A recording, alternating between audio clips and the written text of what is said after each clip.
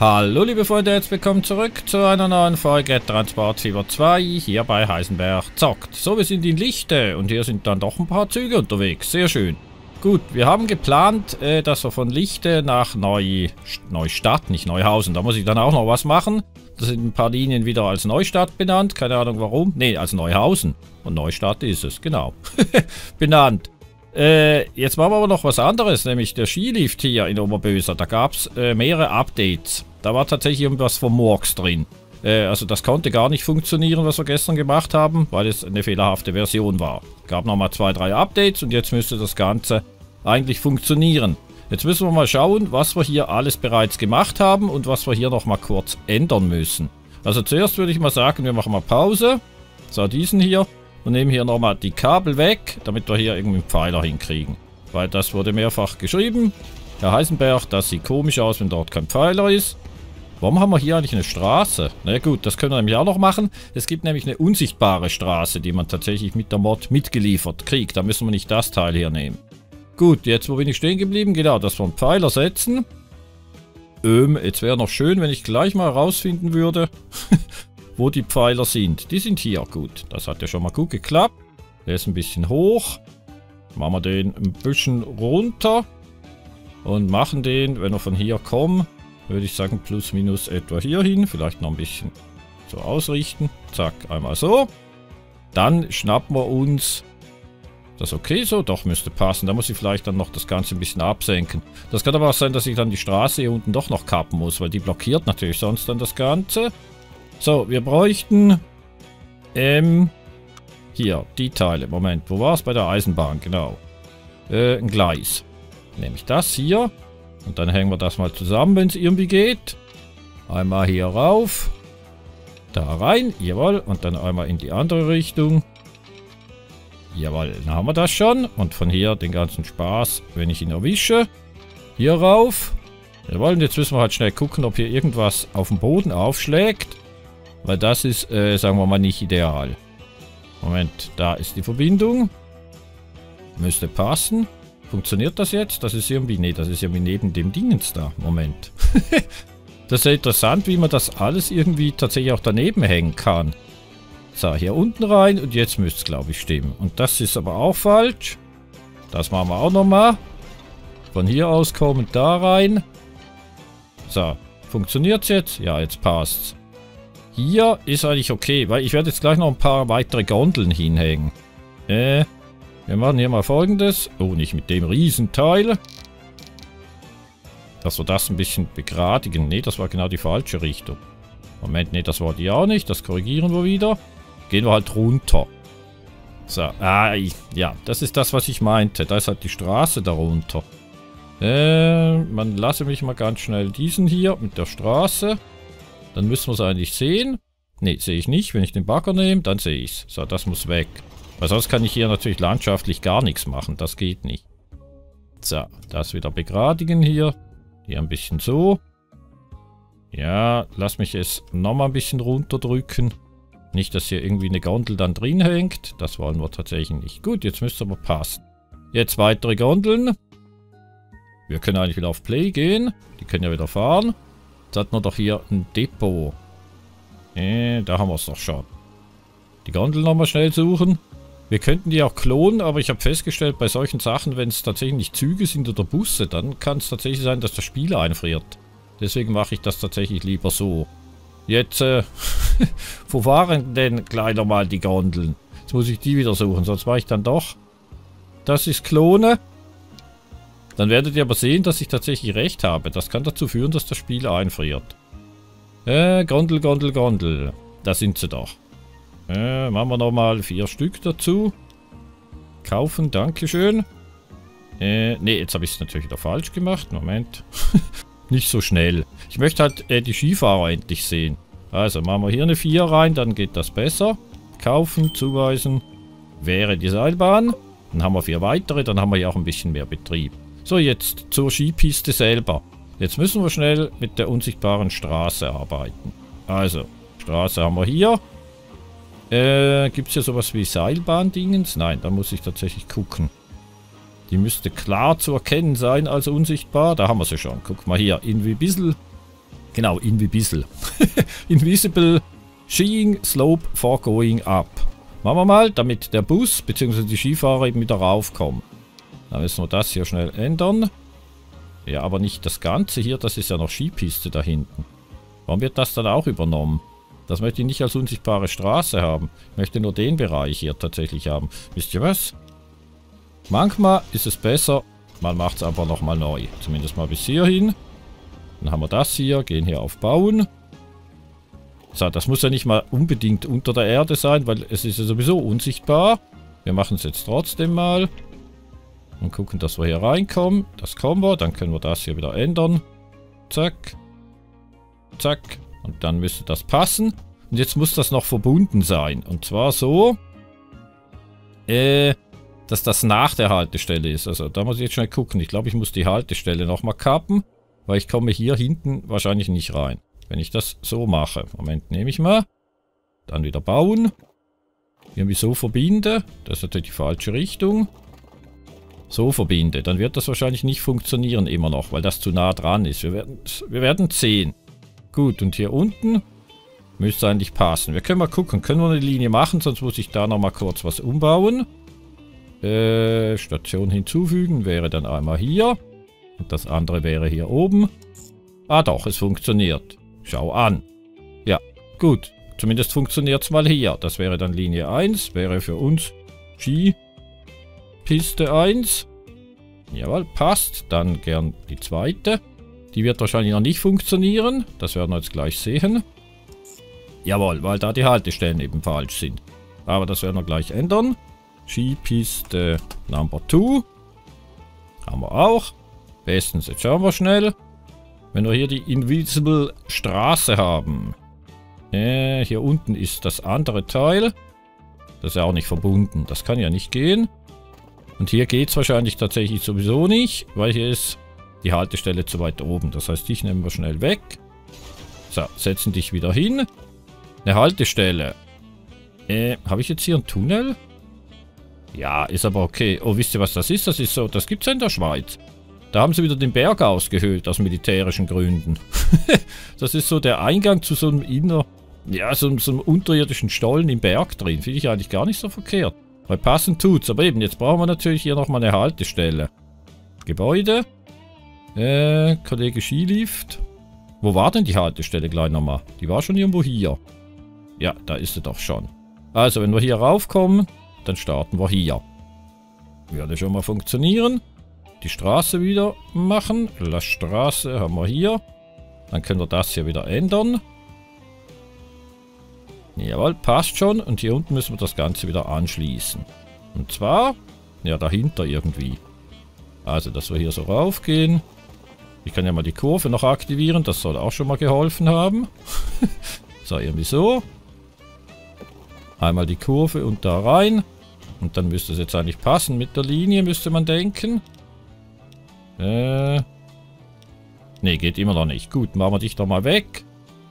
Und machen das nochmal separat. Aber jetzt müsste es eigentlich tatsächlich gehen. Der kann hier lang. Und dann können sie hier lang und dann hier rauf. Ja, und dann haben wir hier nochmal so einen unterirdischen Stollen. Beziehungsweise das ist der Ausgang von da oben. Wenn man wieder aus dem Berg raus will, würde ich vorschlagen. Gut, also, äh, die Linie habe ich gekappt. Das heißt, wir machen eine neue. Und schauen, ob es jetzt geht. Jawohl, jetzt geht's. Aha, ohne dass ich hier was reinnehme. Ich nehme das mal noch rein. Aha, dann haben wir eine Fehlermeldung. Moment, nehme ich das nochmal raus. Also das funktioniert, dass sie hier rauffahren. Busspuren fehlen noch, das muss ich noch machen. Und bei den Linien das andere Ding noch einstellen. Aha, hier haben sie aber auch irgendwie einen Bogen drin. Also hier fahren sie tatsächlich und hier fahren sie dann wieder rauf. Ja, ich muss mal hier bei der Linie... Warum geht das denn nicht, wenn ich das hier oben reinnehme? Das finde ich dann tatsächlich noch interessant. Dann kommen sie hier nicht lang. Wie sieht es aus mit der Straße? Die ist eigentlich verbunden. Und das ist eigentlich die richtige Richtung. Und hier müssten sie eigentlich auch... Das müsste doch verbunden sein hier. Nee, das gefällt mir wieder nicht mehr. Irgendwas passt hier nicht. Wir kappen mal das nochmal. Achso, das geht so auch nicht. Das geht aber, wenn wir hier bei der Straße äh, Werkzeuge eine Tramschiene rauf machen. So, hier eine Tramschiene rauf, dann können wir es nämlich wieder abreißen. So, gut. Dann schauen wir nochmal. Invisible Straße. Nicht bauen. Äh, doch bauen. Nicht ändern. Ja, den Bunker würde ich so lassen, dass wir den Bunker haben. Vielleicht muss ich hier ein bisschen weiter nach hinten. Hier wird es gehen. Zack, okay.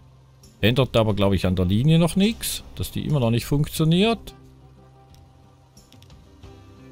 Ne, machen wir das nochmal weg. Dann funktioniert es interessanterweise wieder. Ja, aber man muss das hier oben doch trotzdem reinnehmen. Das gibt's ja nicht. wir machen jetzt mal eins nach dem anderen. Hier unten. Beziehungsweise, ne, bei der Linie. Da müssen wir hier auf Dingens gehen. Äh, entladen hier unten. Nur entladen, sonst fahren sie wieder hoch. Das Ganze hier hinten auch nochmal schnell bei der Linie. Äh, Linie 1. Äh, Moment. Hä? Was ist das denn hier? Ski, wo ist denn mein Ski, meine Skidingens? Ski, Ski, Ski. Machen wir doch das Auge rein, dann finden wir die Skipiste. So, jetzt geht's wieder. Und zwar bei, beim Tannenweg wollen wir hier entladen. So, dann haben wir das auch. Ändert jetzt aber nichts dran. Oh doch, jetzt sind die Warnungen weg. Aha. Achso, ich habe die Linie hier aber eben noch nicht fertig.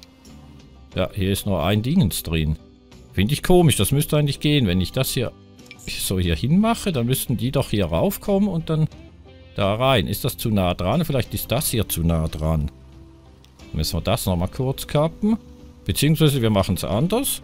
Wir kappen das Teil und stellen das nochmal hin. Das wäre dann das äh, durchsichtige Teil gewesen. Das hier. Das kommt mal, sagen wir mal, hier hin. Okay. Die Linie funktioniert aber immer noch nicht, wie wir sehen. Ja, löschen wir sie halt nochmal. und machen sie nochmal neu. Das hängt schon zusammen hier. Doch, das hängt zusammen. Ich baue das auch nochmal kurz neu. Sicher ist sicher. Äh, Straße. Ja, man sieht, es funktioniert. Ist auch die richtige Richtung. Und dann hier wieder zurück. Ja, hier runter. Das müsste eigentlich schon funktionieren. Hm. Äh, machen wir hier nochmal ein Tramteil hin. Werkzeug, La Tram. Na, das ist die Busspur. Ach, die Busspur habe ich aber auch noch vergessen. Ja, aber de kann es sein, dass das deswegen nicht funktioniert? Machen wir doch die Busspur noch hin. Einmal Busspur. So, müsste passen. Und hier hinten die Busspur, die haben wir. Hier unten aber noch nicht. Hier noch einmal Busspur. Und das hier sollte keine Busspur sein. Nehmen wir das wieder weg. Gut. Würde, glaube ich, passen. Ne, hier oben fehlt noch Busspur. Ne, das ist äh, die Piste. Moment, jetzt habe ich aber zu viele Busspuren. Hier auf der Piste brauchen wir ja keine. Habe ich jetzt die Piste hier mit Busspur versehen? Wahrscheinlich ja. so, machen wir mal. Hier kriege ich sie irgendwie gerade nicht weg. Jetzt geht's. So, keine Busspur, hier Busspur. Wird aber nichts daran ändern, dass die Linie nicht funktioniert. Genau. Ja, nochmal Linien aufrufen. Neue Linie. Von hier oben, das wäre hier, nach hier unten, das wäre hier. Aha, jetzt geht's. Jetzt ist halt die Haltestelle genug weit weg. Gut, das hätten wir. Was wir jetzt natürlich noch nicht haben, sind die Skifahrer.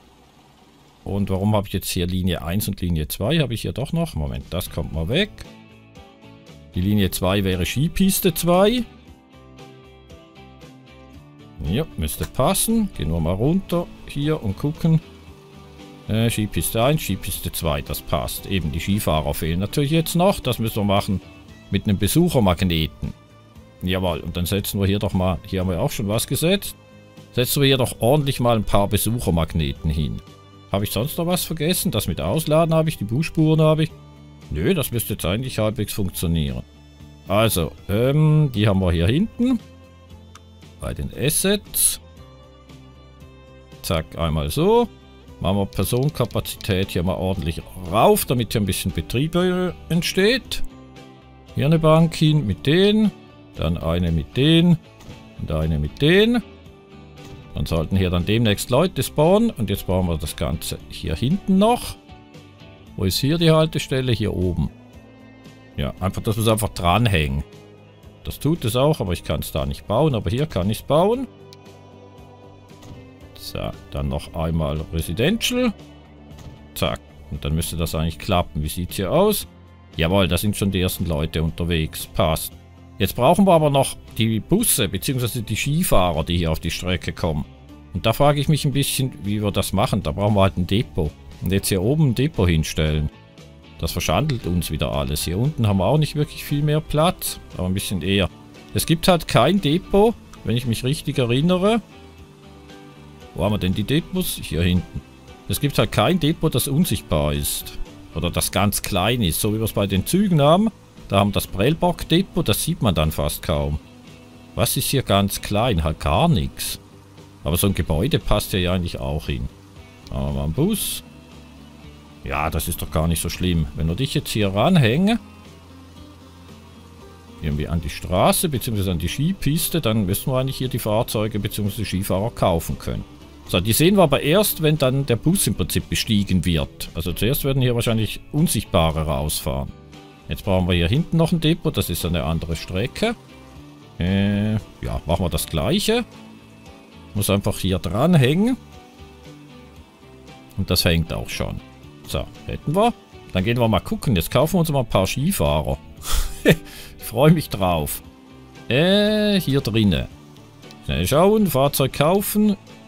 Kann ich da mit der Suchfunktion? Äh, Ski? Ja, da haben wir sie doch schon. Hier, Skier.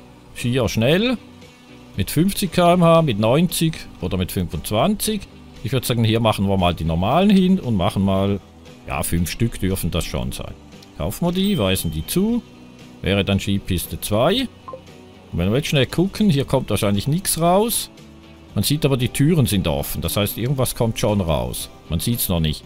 Eben, weil erst müssen die Leute hier oben dann in den Bus reinsteigen. Die, die hier warten. Gut, jetzt schnell runter. Hier zum anderen Depot. Das wäre dann hier. Hier brauchen wir auch noch ein paar Skifahrer. Jetzt haben wir da hinten im Prinzip die langsamen. Dann würde ich hier, machen wir hier mal sechs schnelle hin. Kaufen, zuweisen, Skipiste 1. Und dann passt das ebenfalls. Und wenn wir jetzt Glück haben, sollte hier relativ schnell dann mal ein erster Skifahrer stehen. Wir können ja mal schnell gucken. Lass mich mal hier Zack, das hier nehmen. Äh, Auge. Und dann schauen wir mal, wo die sind. Da sieht man, sie fahren hoch. Ja, das dauert jetzt halt, bis die hier oben sind. Man sieht, hier unten ist ja noch das Depot. Das wird jetzt wirklich ein Momentchen dauern. Wir können ja hier mal auf schneller gehen. Das kann ich ja nicht wegmachen. Irgendwann müsste... Hier, hier müsste irgendwann einer rauskommen. Sehe ich das richtig? Ich glaube ja. Aber halt auch unsichtbar. Der wird dann hier oben äh, im Prinzip umgewandelt von einem unsichtbaren Bus in einen Skifahrer. Wenn es denn funktioniert. Moment sehe ich hier noch keinen. Schnell da mit dem Tempo runter, wenn hier ein Skifahrer auftaucht. Ja, noch nicht, noch nicht, noch nicht. Da, da ist er. Guck mal. Pause, Pause, Pause, Pause. Da ist unser erster Skifahrer. Es funktioniert. Wie schön ist das denn? Also machen wir hier normales Tempo. Und steigen hier natürlich gleich mal kurz ein. Hallöchen, Kollegin. Oh, aber mit ganz interessanter Haltung, mit verschränkten Armen. Okay, dann Fuß vom Ski.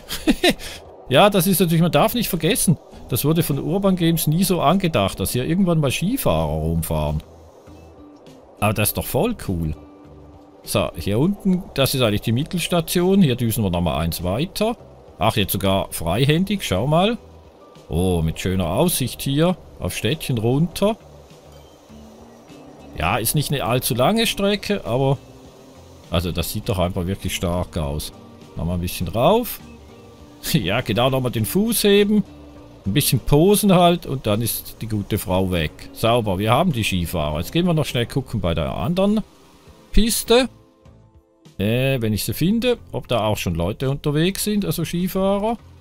Jetzt muss ich schnell gucken. Halt, das hier ist die Nummer 1. Hier oben, hier müsste das sein.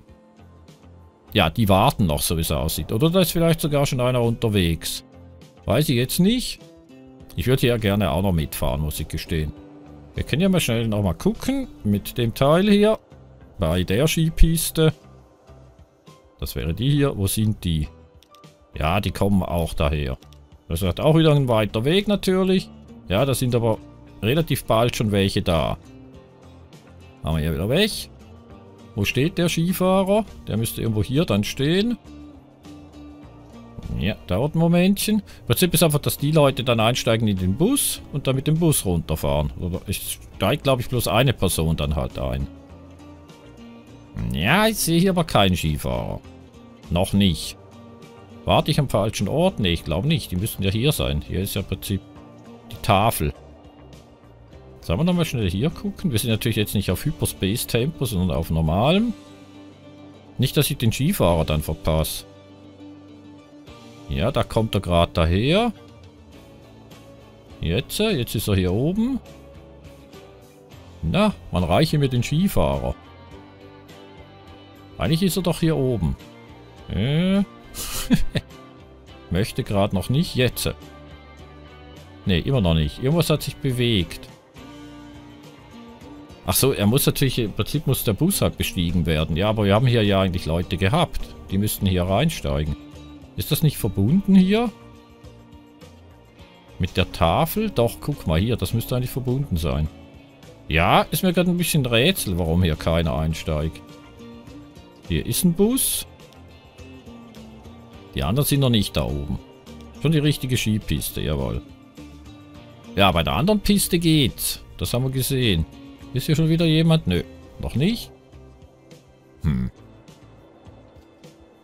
Ja, eigentlich ist er ja hier, das Straßenfahrzeug 1. Er wird aber nicht in Skifahrer umgewandelt.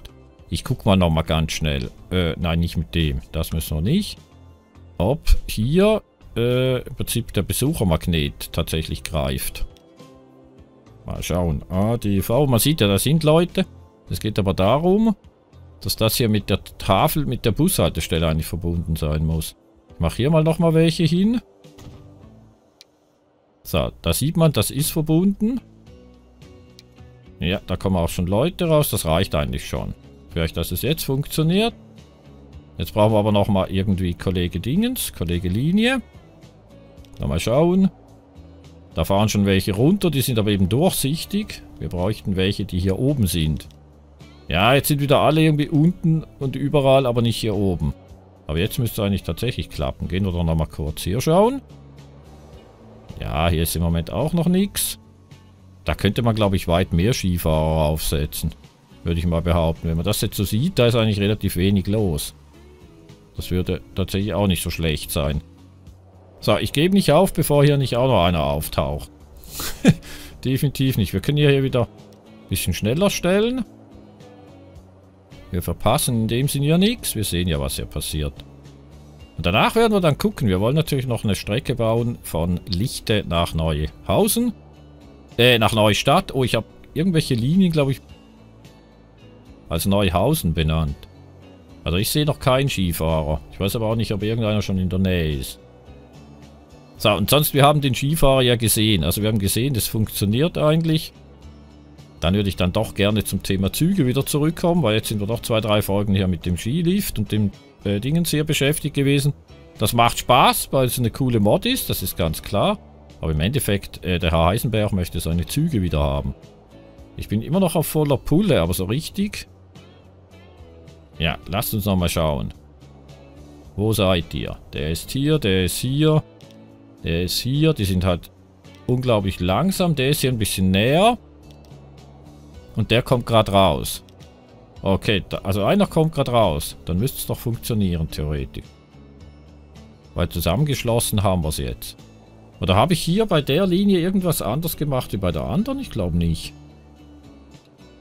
Der fährt aber auch schon wieder runter. Also irgendwie so richtig möchte das hier nicht funktionieren, so wie es aussieht. Naja gut, aber wir haben ja bei der anderen äh, Skipiste gesehen, dass es klappt. Warum es jetzt hier gerade nicht klappt, ist mir ein Rätsel. Aber ihr werdet es wahrscheinlich gesehen haben. Äh, dann könnt ihr es ja kurz in die Kommentare schreiben, dann können wir das je nachdem noch fixen. Weil, ja eben, den Skifahrer haben wir gesehen, den haben wir auf Band. Es funktioniert, das Ganze. Gut, vom Skifahren gerne zurück hier zu den Zügen. Äh, wir haben hier, glaube ich, schon mal ja, festgelegt, wo wir lang gehen, nämlich von hier aus. Ich kann ja mal schon mit den Linien gucken. Ja, aber hier ist nämlich nichts drauf. Würde heißen, wir düsen hier lang. Dann haben wir ja sogar einen zweigleisigen Abschnitt. Dann machen wir mal die 4. Dann düsen wir hier lang. Düsen nach hier oben. Jetzt muss ich die 4 nochmal weghaben. Bis hierhin hätten wir Platz. Danach geht das hier rein, zu diesen Linien. Und da glaube ich, das ist nicht ideal. Weil das eine ist der 1 Kilometer Güterzug, sieht man hier. Das andere ist die Universallinie. Da würde ich nicht reingehen. Ich würde da das Ganze anders machen. Lass mich mal kurz ein Gleis nehmen. Äh, Achso, jetzt bin ich hier wieder bei den Teilen. Moment, ich äh, müsste... Wo ist denn hier sozusagen das reguläre? Vanilla. Das klingt nicht schlecht. Jawohl, da ist mein Gleis. Dass wir hier unten irgendwie rausgehen. Das ist ja eingleisig. Das sehe ich richtig. Jawohl, von hier aus kommend. Ne, das wird hier zweigleisig. Aber das wird hier eben zweigleisig, weil hier, glaube ich, schon zukommt. Ja, hier ist eine Linie drauf. Okay, nochmal die 4. Nochmal mein Gleis. Das heißt, wir gehen hier raus. Also das ist in dem Sinne ja nicht zweigleisig, sondern hier fährt eine Linie und hier fährt dann unsere neue. Wenn wir hier zum Beispiel ausfädeln. Ich fädel mal. Jetzt gucken, dass wir irgendwie möglichst schnell aus dem Boden oder wieder auf den Boden zurückkommen, aus dem Tunnel raus. Das wäre da. Das ist allerdings irgendwie genau auf der Straße drauf. Aber wisst ihr was? Die Straße hier. Äh, lass mich mal die Doppel 1 machen. Man sieht ja nichts. Die können natürlich wegmachen. Da sind ja keine Häuser dran. Das stört uns ja gar nicht. So, irgendwie so. Jawohl, dann hier raus. Gerne mit dem Portal. Und hier den Häusern entlang. Nämlich so. So, wir werden das auch gleich wieder noch zweigleisig machen. Jetzt müssen wir hier aber tatsächlich wieder eine Kurve haben. Hier ist auch noch der Güterbahnhof im Weg. Und irgendwann müssen wir uns dann noch klar werden. Oder es muss uns klar werden, wo wir genau lang wollen mit dem Teil. Weil ich möchte natürlich, wenn es irgendwie geht, wieder Gleis nutzen, das wir bereits haben. Jetzt nicht hier alles separat bauen. Gut, das können wir hier aber auch zweigleisig noch machen. Ich würde sagen, nach dem Tunnel wird das hier wieder zweigleisig. Sehr schön. Fast ein bisschen durch Städtchen durch. Das gefällt mir sowieso immer relativ gut. So, einmal so. Und jetzt müssen wir tatsächlich mal gucken, was machen wir denn jetzt genau. Wenn wir hier lang gehen, wir haben hier Gleise. Wer fährt hier? Lichte Werkzeug und Linder Baumaterial. Das würde passen. Das ist einfach eine Güterlinie. Dann, Moment, dann möchte ich natürlich trotzdem schnell irgendwie die Linie haben. Zumindest eine von beiden. Wir können auch beide aufrufen. Das geht natürlich auch. So, mal gucken, was die genau machen. Die düsen dann hier lang, hier runter.